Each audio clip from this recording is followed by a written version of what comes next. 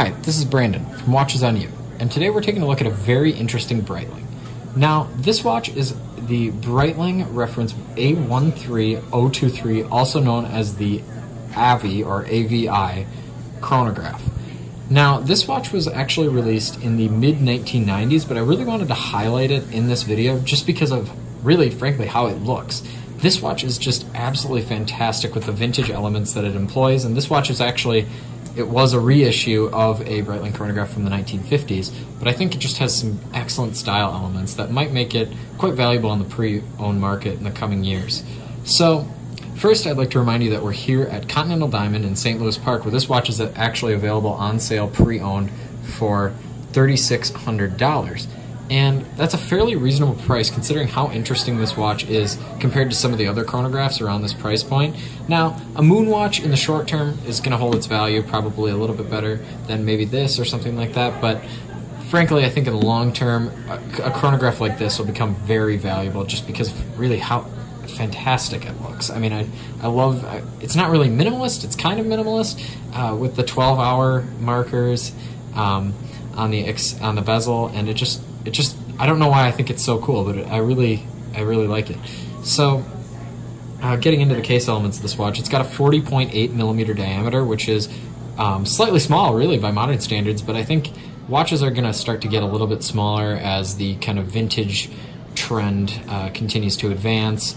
And I think that this watch, I mean, it, it, doesn't look really that small on the wrist, in my opinion, at least on my wrist, which is 6.5 inches in circumference. But I think that uh, this watch just looks absolutely beautiful. So the movement in this watch is a ETA 7750, which was typical of Breitlings at this time. It has a 42-hour power reserve, which for a manually wound watch would be quite low, but frankly, given that it's automatic, I think that that probably shouldn't be an issue, as this is really a daily wearer. So um, I'll demonstrate the operation of the chronograph. So to start the chronograph, you push the top pusher, and I love that red pip at the end of the chronograph second hand. I think it looks very nice, and it's also very, it makes the chronograph very legible. I love the tachometer um, insert on the inside. I think it looks absolutely beautiful, and it's, again, useful. So to stop the chronograph, you push the top pusher again, and then to reset, you use the bottom pusher.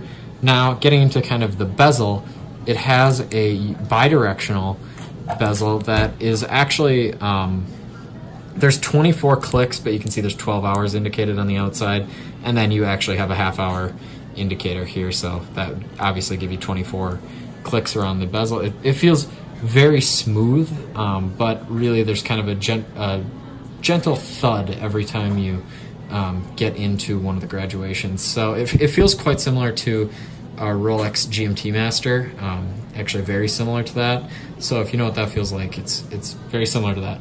So getting into the bracelet, it has this nice high polished bracelet that is just classic Breitling. It's very tough, including the uh, clasp, which is very well made. So they they make like pressed metal clasps, Breitling does, but they're very thick and high quality, so I don't mind it as much. But like on a Seiko, I don't really like it when have, they have pressed metal. I don't think it feels very nice. And obviously, this is much more expensive than a Seiko, but still, you get my point. So um, now I'll move on to a wrist shot of this piece. And one of the other kind of down, uh, kind of pitfalls of this watch is the fact that it only has a water resistance of 30 meters, which is about 100 feet. So you could go swimming in a pool with it, but you really couldn't dive with it or anything like that. Um, but uh, it shouldn't be that much of an issue for most people. So again, this watch has a 40.8 millimeter diameter, and that's again slightly small for modern standards, especially for a chronograph. But really it's around my 40, 40 millimeter kind of preference, so I think it looks great. It would look good on most people's wrists unless you had a really large wrist. So if you like this video, please remember to subscribe and share. Thank you.